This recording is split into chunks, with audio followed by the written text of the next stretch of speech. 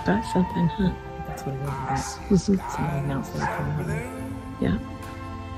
and clouds of white.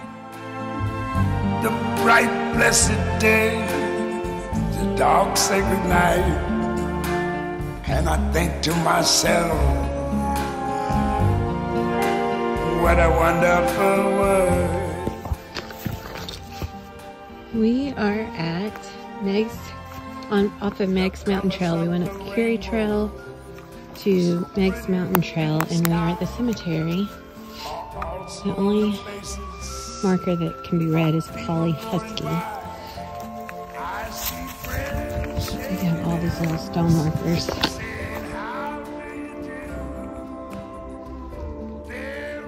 saying,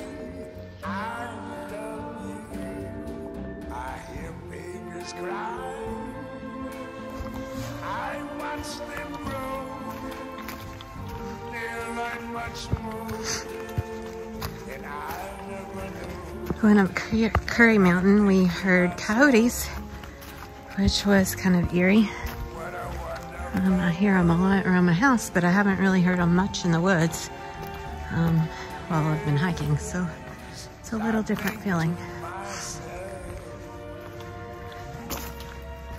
This is the Meigs Mountain Trail, and if we continue down it, which we are not today, we would come out at the Sinks.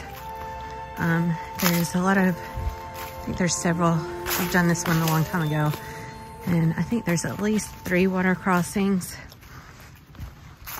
So um, it's not something you want to do when it's this cold outside. But it's kind of fun in the summertime. And you come out at the sinks. Oh, here come some hikers.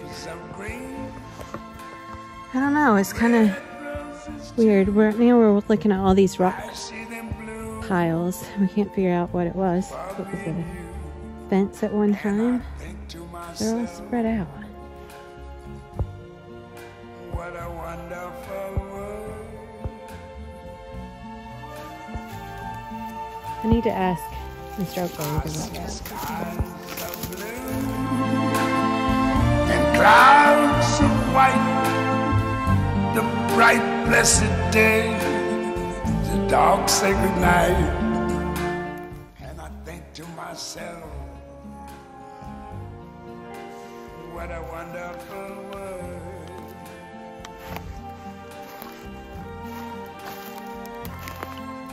The colors of the rainbow, so pretty in the sky, are also on the faces of people.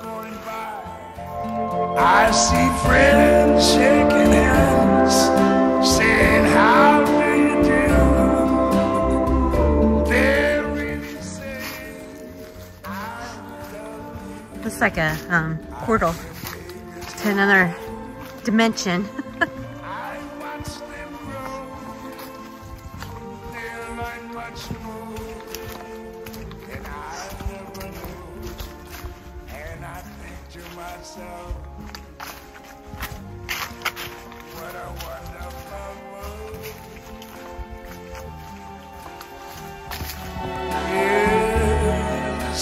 I think to myself,